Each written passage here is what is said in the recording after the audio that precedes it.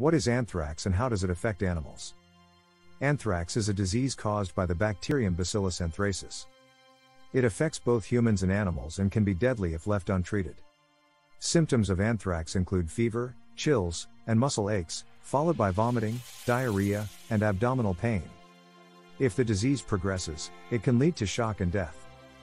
Animals are particularly susceptible to contracting anthrax because they often graze on contaminated grass or drink from contaminated water sources.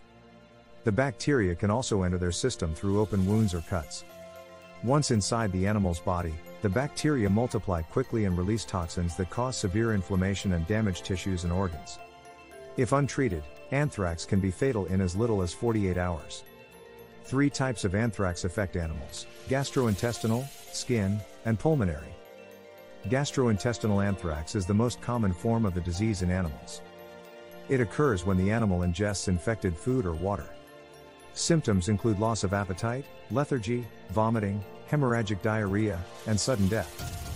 Skin anthrax occurs when the bacteria enter through an open wound or cut on the skin. The infection manifests as a raised lesion that is hot to the touch and filled with pus. Lesions may also develop on mucous membranes such as the nose, mouth, or anus. If left untreated, skin anthrax can lead to sepsis or blood poisoning. Pulmonary anthrax is animals' least common but most dangerous form of the disease. It occurs when the animal inhales infected spores from the environment. Symptoms include fever, difficulty breathing, coughing up blood, and collapse. Pulmonary anthrax is usually fatal within 24 to 36 hours. Early diagnosis and treatment are essential for survival. Anthrax is a serious disease that can be fatal in both humans and animals if left untreated. Animals are especially susceptible to contracting it because they often graze on contaminated grass or drink from contaminated water sources. Three main types of anthrax affect animals gastrointestinal, skin, and pulmonary. Early diagnosis and treatment are essential for survival. Veterinary students should be aware of the signs and symptoms of this disease so that they can properly diagnose and treat it in their patients. In the following segment of this presentation, Dr. Kamran Ali Chandio will discuss how this disease affects animals. Hello everyone. So today our topic is about anthrax disease in animals by Dr. Kamran Ali Chandio. We will discuss on topics what is anthrax, types of anthrax, causes of anthrax, signs and symptoms, prevention, control and treatment. What is anthrax? Anthrax is an infectious bacterial disease of animals caused by the spore-forming bacteria Bacillus anthracis. Anthrax is zoonotic disease. Types of anthrax. There are three types of anthrax. Through the skin, gastrointestinal, intestine, inhalational, lungs. These are the animals which are affected by anthrax. Types of anthrax. Number 1 cutaneous skin. An uncommon cutaneous skin infection due to bacterium Bacillus that is found in the environment and typically causes illness in animals.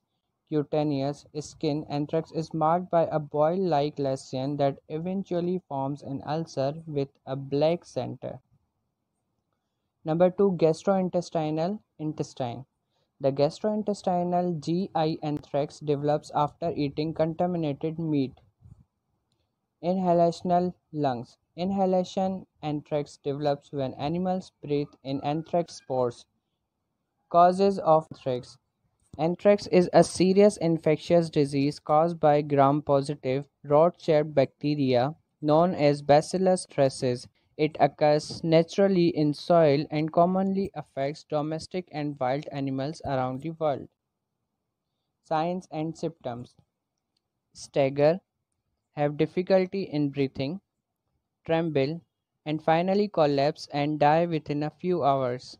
High fever, depression, unconsciousness, lacking awareness, difficulty breathing, seizures, and death.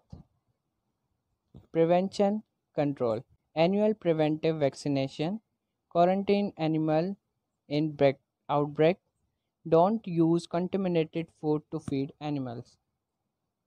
Treatment for Antibiotics of choice include penicillin and oxytetracycline. For small animals, amoxicillin, doxycycline, and fluoxetine have been recommended. Thank you for listening and watching us. We will meet again with other important topics.